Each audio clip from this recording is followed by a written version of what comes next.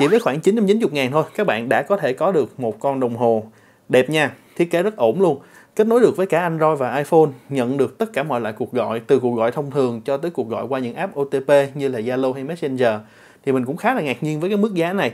Vậy thì so với lại những cái con smartwatch đắt tiền hơn á, thì cái đồng hồ này khi mà các bạn sử dụng thì nó có ưu nhược điểm ra sao? Mời các bạn coi video ha. Cái đồng hồ này của hãng Cavo và cái dòng á, là Cyber RH1 Thật ra theo như mình quan sát ha thì con đồng hồ này á, nó xuất phát chung một cái nhà máy với những cái smartwatch đến từ các hãng như là Kia Slack hay là iMilab mà mình đã từng cho các bạn coi. Tuy nhiên á, cái nhà máy đó thì họ sẽ đưa cho các hãng á, một loạt những cái design. Rồi sau đó họ chọn cái design xong sẽ được gắn cái thương hiệu của họ lên. Thì đó là cái cách hoạt động của cái mô hình ODM đối với lại cái đồng hồ này á, thì Cavo họ chọn cái thiết kế mình đánh giá khá là cao. Tại vì nhìn nó vẫn tinh tế nhìn nó vẫn rất là sang trọng nhưng mà nó lại không có quá cầu kỳ nó không có quá thể thao nếu như mà bạn nào thích cái style mà kiểu lịch lãm một chút á, thì mình nghĩ là các bạn sẽ thích cái đồng hồ này. Và một điểm nữa mình đánh giá cao ở con đồng hồ này đó là tuy giá của nó rất là rẻ nhưng mà nó lại có build quality rất là tốt. Cũng phải ngang ngửa những con đồng hồ tầm 3 triệu 4 triệu á, chứ cũng không thường đâu ha. Lúc đầu mình có nói với các bạn á, giá của nó là 990 ngàn thì đây là cái mức giá mở bán. Còn bình thường á, cái mức giá bán lẻ của nó là 1 triệu 390 ngàn ha tùy vào cái thời điểm mà các bạn mua thì có thể sẽ có những cái chương trình khuyến mãi khác nhau. Tuy nhiên nếu như mà bạn nào muốn mua đợt đầu thì có thể tranh thủ, tại vì mình thấy đợt đầu thì giá khá là tốt. Ngoài ra còn được tặng kèm cái dây hít 500 này nữa. Thì nhìn cái dây hít 500 này, các bạn cũng lại thấy một điểm mà tương đồng với lại AmiLab hay là Kia Stack ha con đồng hồ này nó sử dụng cái màn hình là LCD, kích thước là 1,39 inch. Theo cái trải nghiệm của mình á, thì mình thấy là để độ sáng tầm 50% là đã đủ sử dụng rồi.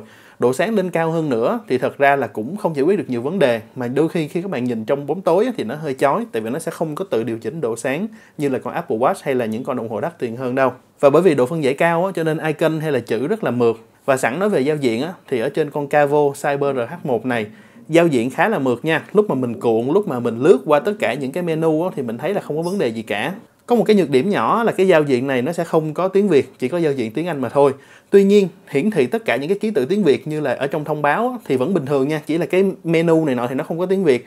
Ờ, so với lại những cái đồng hồ của Kia Select á, thì một số con như là KR và KR Pro nó còn bị lỗi ở cái phông chữ tiếng Việt. Ví dụ như là ở dấu nặng nữa thì ở trên con Cyber RH1 này nó không có bị lỗi khi mà hiển thị những cái thông báo bằng tiếng Việt đó đâu. Cho nên các bạn có thể yên tâm về phần này ở trên đa số những cái đồng hồ hiện nay và bao gồm luôn cả con Cavo Cyber RH1 này á, nó hỗ trợ được 100 môn thể thao khác nhau những cái môn cơ bản như là đi bộ nè chạy bộ nè đạp xe là đương nhiên có. Bây giờ tất cả những con smartwatch đều có hết rồi.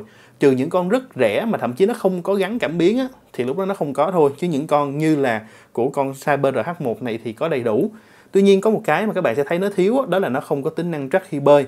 Tại vì cái đồng hồ này á, bản thân nó là có chống nước theo chuẩn IP68 tức là các bạn đi mưa ok. Các bạn rửa tay dính nước không sao cả tuy nhiên các bạn không được đem nó xuống hồ bơi và đặc biệt là không được đem xuống biển nha tại cái chuẩn IP68 nó không bao gồm những cái tình huống sử dụng như vậy đâu. Tất cả những cái sensor khác về track sức khỏe ví dụ như là sensor track nhịp tim nè hay là theo dõi SpO2 nè hay là track giấc ngủ thì con đồng hồ này nó có đầy đủ hết. Bây giờ mình thấy là tất cả mọi con smartwatch hiện nay á, tất cả những thứ đó nó cũng làm được hết rồi. Những con nào mà không làm được những thứ đó thì đôi khi các bạn cũng không nên mua nữa. Một cái điểm quan trọng mình muốn chia sẻ với các bạn đó là về thời gian dùng pin con Cavo Cyber RH1 này mình sử dụng thực tế được vào khoảng 2 ngày nha và nếu như các bạn có cái tần suất sử dụng ít hơn hoặc là các bạn giảm thêm độ sáng một nấc nữa thì mình nghĩ các bạn có thể lên được khoảng 2 ngày rưỡi. Nhà sản xuất thì họ quảng cáo là tới 5 ngày lận. Tuy nhiên đó thời gian thực tế thì mình đã test cho các bạn coi rồi. Thật ra đối với lại cái thời gian dùng pin hai ngày rưỡi á, với mình là vẫn tạm ổn nha. Tại vì ngang với lại cái con ờ, Apple Watch Ultra hiện tại của mình. Và đương nhiên nó cũng đã hơn được một chút so với lại cái đám Apple Watch rồi. Tất nhiên mình không thể nào mình so nó với lại những con đồng hồ của Xiaomi hay là những con đồng hồ của Huawei với cái mức giá cao hơn đừng quên, con này giá của nó rất là rẻ, chỉ có 1 triệu 390 thôi.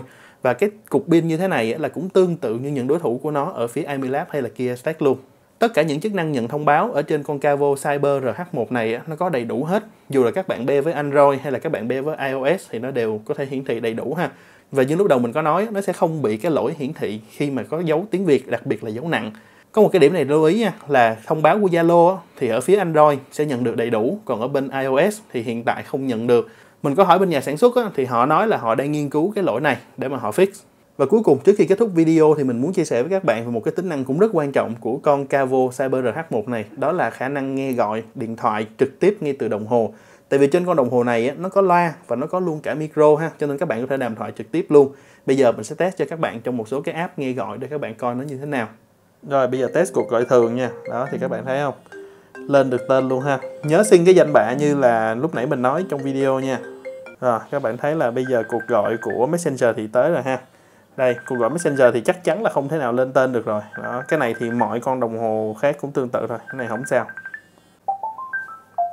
Rồi, bây giờ là cuộc gọi Zalo nha. Thì các bạn thấy là gọi Zalo nè, lên được tên ha. Quan trọng là phải nhớ xin cái danh bạ nha các bạn như vậy thì các bạn thấy là con Cavo Cyber RH1 nó có thể nhận được cả cuộc gọi thông thường lẫn cuộc gọi thông qua những cái app OTP mà không gặp vấn đề gì. Và lúc này là mình đang pair với lại iPhone nha, mà các bạn thấy là nó đều có thể chạy được ổn như vậy rồi. Về chất lượng đàm thoại á, micro thì ok, không có vấn đề gì hết. Loa của nó cũng sẽ vừa đủ dùng trong môi trường trong nhà. Hiện nay á, kể cả những con Apple Watch đắt tiền thì mình cũng thấy là không thể nào xài nó một cách dễ dàng khi mà đang đi ngoài đường và có xe được. Môi trường trong nhà thì các bạn sẽ dễ dàng nghe gọi bằng con smartwatch hơn ha còn đi ngoài đường mình vẫn khuyên các bạn là dừng xe lại và sử dụng tai nghe Bluetooth hoặc là móc điện thoại ra trả lời luôn thì nó sẽ tiện lợi và nó nghe rõ ràng hơn nhiều lắm. So với lại những cái đối thủ khác ví dụ như là Kia Slack KR, KR Pro hay là iMilab VK13 mình từng cho các bạn coi á thì con Cavo Cyber RH1 này có một cái ưu điểm rất là lớn của nó. Thứ nhất là cái mức giá lúc mà mới mở bán á, 990 ngàn là rẻ ha. Thứ hai là cái thiết kế của nó đẹp và nó thanh lịch hơn so với lại những cái đối thủ và khi mà các bạn mua ở thời gian mở bán thì sẽ có đi kèm luôn cả những cái dây hít 500 như thế này. Về cơ bản mình thấy con Cavo Cyber RH1 này nhắm tới những anh em nào muốn có được những con smartwatch với đầy đủ tính năng, nhưng mà các bạn chưa sẵn sàng chi quá nhiều tiền có thể là các bạn chưa từng xài smartwatch, các bạn muốn bắt đầu coi như là bước chân vào cái thị trường này để nghịch thử, để hiểu coi concept à những cái smartwatch nó có thể làm được gì và nó có phù hợp với các bạn hay không. Hoặc chỉ đơn giản là hầu bao các bạn không có rộng rãi hoặc là các bạn không muốn chi quá nhiều tiền cho một con smartwatch, thì con Cavo Cyber RH1 này cũng là một trong những cái lựa chọn mà các bạn có thể cân nhắc ha rồi, cảm ơn các bạn rất là nhiều đã xem video. Xin chào và hẹn gặp lại trong những cái video sau. Nếu mà các bạn có muốn mình test thêm hay là có câu hỏi nào thêm về con Cavo Cyber RH1 này, thì các bạn comment vào trong cái video giúp mình nha. Bye bye.